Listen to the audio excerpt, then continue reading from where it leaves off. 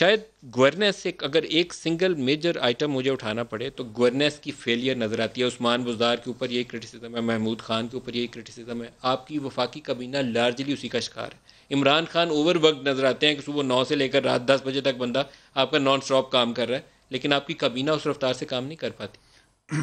बहुत शुक्रिया नदीम साहब। देखिए नदीम साहब, सबसे पहले तो ये कि जो आपने कहा कि इमरान खान साहब सुबह नौ बजे से लेकर रात दस बजे तक काम करते हैं, बिल्कुल ऐसा ही और प्राइम मिनिस्टर जितने भी पाकिस्तान में गुजरे वो इस हद तक काम नहीं किसी ने भी किया।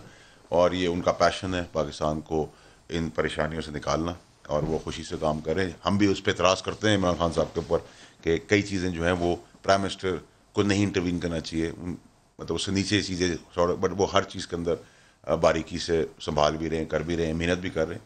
और जहाँ तक आपने कहा गवर्नेंस की बात, देखिए गवर्नेंस में ये नहीं कह सकता कि 500 परसेंट या 100 परसेंट एज पर एक्सपेक्टेशन है।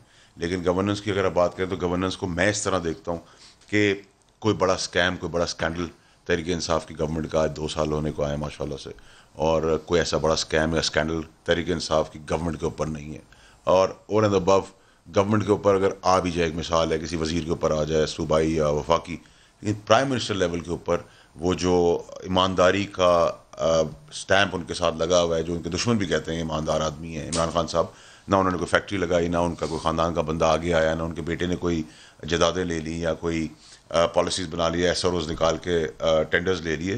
तो ये तो आप आपको क्लैरिटी नज़र आ रही है कि जो शायद पैंसठ साल में नहीं हुआ वो आपको इस दो सालों में नज़र आया कि एक ईमानदार साफ़ शफाफ इमरान खान की ज़ात के ऊपर ये बिल्कुल कोई इल्ज़ाम नहीं है कि उसने पैसे खाएँ। मेरा ख्याल है वो खाएँगे भी नहीं क्योंकि एक क्रिकेटर जिसको इंटरनेशनल इतनी एक्नॉलेजमेंट या रिकग्निशन मिली है वो इस तरह का काम मुझे नहीं लगता करेगा। लेकिन उससे नीचे आ जाए।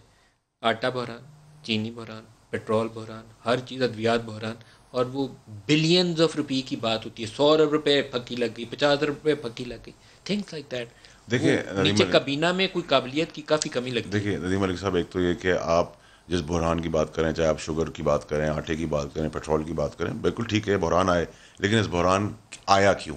देखिए सबसे पहले तो ये आपको पता चलना चाहिए आपको मुझसे ज़्यादा पता है कि जितने भी पाकिस्तान के अंदर ओवर ग्रो किया लोगों ने, वो पॉलिटिकल इन्फ्लुएंस की वजह से किया यानी कि अगर मैं प्राइम मिनिस्टर या किसी चीफ मिनिस्टर का जानने वाला हूँ तो मैं ओवरनाइट ग्रो कर गया हूँ। मतलब अगर आप क्रेडिबिलिटी या क्रेडेंशियल्स देखें, या एक आदमी जिसने आके असेंबली में एज एन एम ने आया, उसकी वो हिस्ट्री नहीं थी साइकिल पे बैठ के आया, वो रातों रात शुगर मिल्स का मालिक बन गया बिलियंस और रुपीज़ की ज़मीनों पर बैठ गया तो एक कार्टेल और एक माफिया बन गया। देखिए, बहुत डिफ़िकल्ट है, मालिक साहब।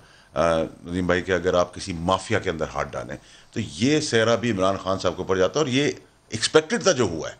हमें कोई शौक नहीं लगा। जब भी आप करेंगे किसी कार्टेल के अंदर ताकतवर लोगों के आगे वो चीज़ों को कंट्रोल कर लेंगे पे, पे चीनी थी जब आपने उस कार्टेल को हाथ डाला माफिया कहा इमरान ने दस दफ़ा कि मैंने इस माफिया को पकड़ना है अब सौ से ऊपर चली गई। तो यू आर फेलिंग नहीं नहीं नहीं देखिए नदीम अली साहब जो फेलियर का सब पार्ट होगा ना हम उसको एक्सेप्ट भी करेंगे।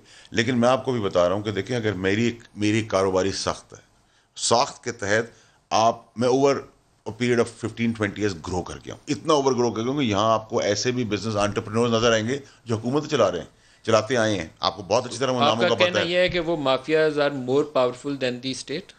देव दे वर अब पहली दफ़ा जब हाथ डाला है तो it is a difficult face ये एक दफ़ा ग्राफ ऊपर जाएगा जो उन्होंने किया है लेकिन उसके बाद आप देखेंगे कर्व बिल्कुल नीचे गिरेगा। सख्ती होनी है और सख्ती के बाद जब बैक बोन देखिए अभी तो हमने गिरबान पे हाथ डाला है। वो छत्ते के अंदर हाथ डाले सारी मक्खियाँ इकट्ठी हो गई हैं और उन्होंने शॉर्ट कर दिया हमारा प्राइजेज ऊपर चल। गई इज़ नॉर्मल लेकिन इसका जो इवेंचुअल रिज़ल्ट आना है दस लोग आपकी कबीना में बैठे हैं वो इनकी तरफ़ उंगली उठा लें लेकिन बाकी चार उंगलियाँ आपकी अपनी तरफ़ भी हैं। नदीम मलिक साहब मैं उस पर भी आपसे कोई बहस नहीं करूँगा।